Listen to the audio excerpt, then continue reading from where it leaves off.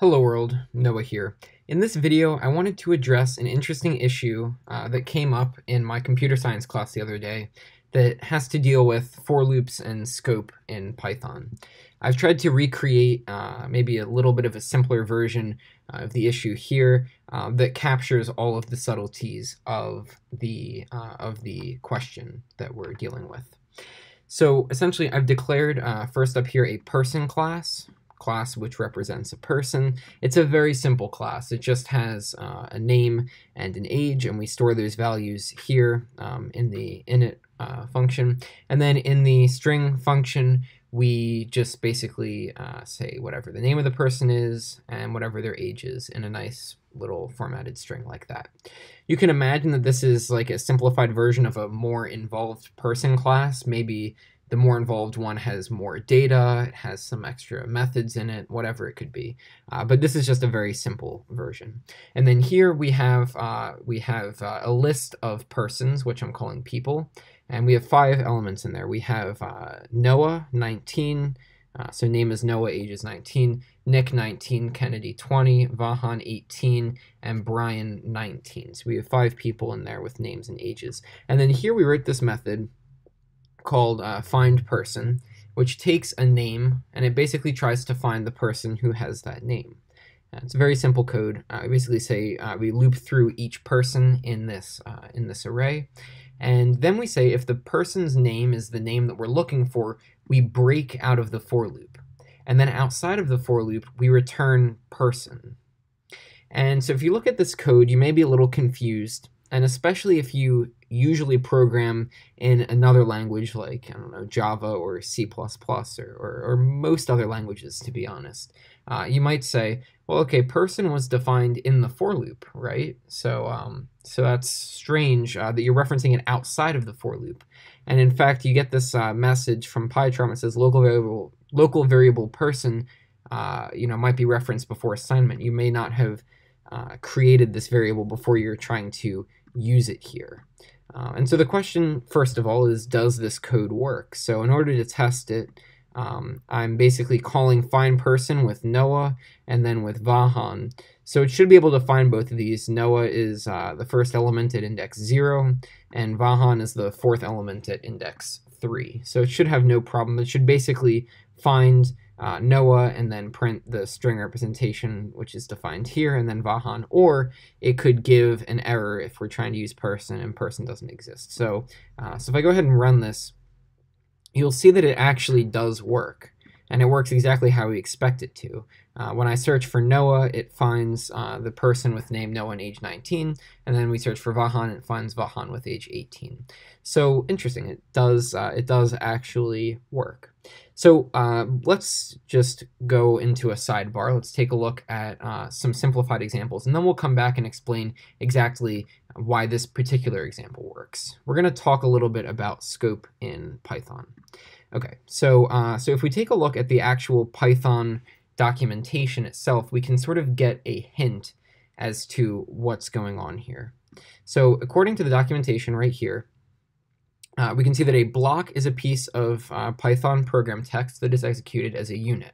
And the blocks are defined as a module, a function body, and a class definition. Now, in most other programming languages, uh, a block is a lot more than that. It could be an if statement and a for loop and a while loop. All of those different things could be considered blocks in Python, but or in other languages, sorry. But in Python, we consider a module, a function body, and a class definition to be blocks, right?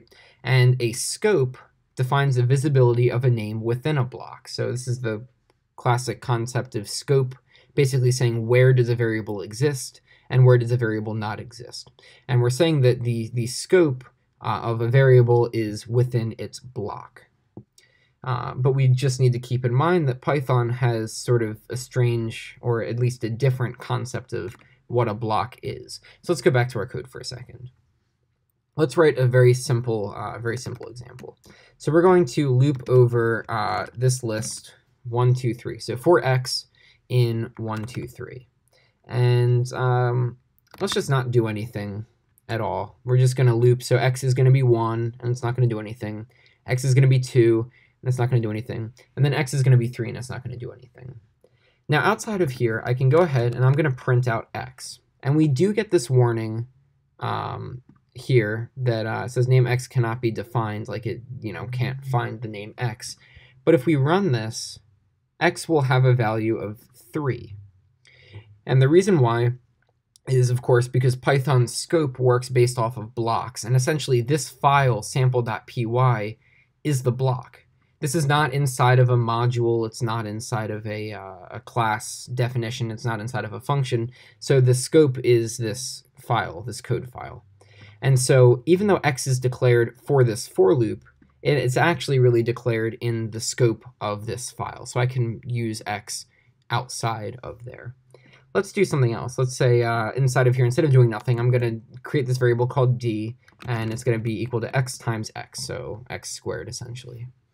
Um, so basically, the first time this runs, x will be 1, and d would be 1, then x would be 2, and d would be 4, x would be 3, uh, and d would be 9. And so if I go and print this, and I go and print d, then it will print out 9, which uh, is what you'd expect based off the behavior of x. So x exists uh, in this scope. It exists outside of the for loop because it's defined in the scope of this file, right? And d exists even though it's defined inside of the for loop. That's not a scope. The for loop is not the scope. The scope is the whole file. So it still exists here. Now, of course, this example is kind of silly because when x is 1 and when x is 2, we basically ignore the values of x and d, and we only uh, use it, you know, when uh, when x is three and then d would be nine. So it's kind of a trivial example, but it demonstrates the idea, the important idea um, that scope is defined uh, a little more broadly here than in other languages. Uh, there are some caveats though that we should that we should talk about. So here's another example. For y in an empty list, we're going to say e is y times y. So it's basically the same as above, but instead of the list being 1, 2, 3, uh, it's just an empty list, right? And then we're going to print out y, and we're going to print out e. And so if we run this, we'll get 3 and 9 from before, but then we get this error that the name y is not defined. And if I comment that out to let the next line run, we get the error that the name e is not defined. So we know that both y and e are not defined. And the reason is because since this list uh, is empty, there are no elements for y to become. Uh, so y never gets defined. If, if I put an element in here, y would become the first element, and then the second and the third. But if there's nothing for y to become, then y never gets uh, you know, declared. And of course, the body of the loop will never run since there's nothing for it to run. So e will also never be declared. So you kind of have to be careful here if you're trying to take advantage of this uh, strange scoping you have to know that if the list is empty, this variable will not be declared. Uh, so for example, in this right here, we know that x will take on the values 1, 2, and 3, but if this list were returned from a function somewhere else that had a chance of returning an empty list, then there's a chance that x could never be defined, and we're assuming here that x is defined. So it's kind of a dangerous, uh, a dangerous game to play because if you don't know that the loop is going to run, then you don't know that the uh, that the index variable is going to be created, um, and then you can't just assume uh, that it was created. Uh, but the important thing to keep in mind uh, is that the scope here is the whole file. Just to just to show you, uh, if I define, let's make a function called f, and we're going to set uh, the variable h equal to 2. And then if I make um, another function called g, and I want to print out h, uh, this will not work regardless of what I do. I could call f first, and then I could call g. Let's just comment out that bad code above there. Uh, it's going to tell me h is not defined there. I could even call uh, I could call f inside of g. So I'm creating h, and then I'm printing it, whatever. But whatever I do, it's not going to work. And as we know, a function is a scope. A function provides a scope, or it has its own scope. Um, so in this case, uh, I'm declaring h in the scope of this function. And then here, when I try to reference h, I'm not in the scope of, uh, of f, so I can't access this variable. So that works in the way that you would expect from another language, that functions have their own scopes. Uh, but what doesn't work as you would expect is that for loops actually you could think of them as sort of leaking their scope, but really a for loop doesn't have a different scope. Its scope is, you know, just the whole file.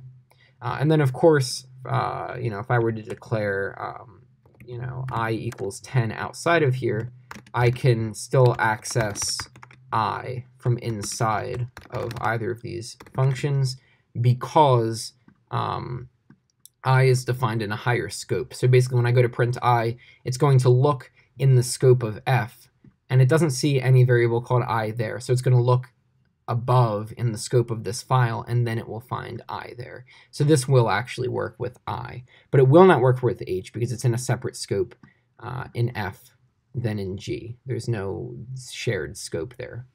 Now this property uh, allows you to sort of create a closure in Python, and a closure is essentially um, a construct where all of the variables are contained. It's sort of closed, as the name implies.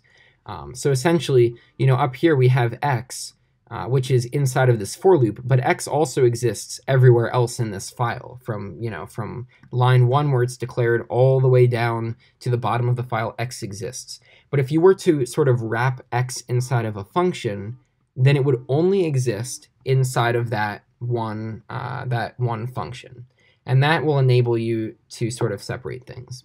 Now, in general, it's not really much of an issue, um, so we don't worry about it, but there are cases where it does matter, and then in that case, uh, you could use a closure, but we could talk about that in a separate video. Hopefully that makes a little bit more sense, so let's go back to our example here and take a look. We know here that we're inside of a function, right? So this function is going to have its own scope.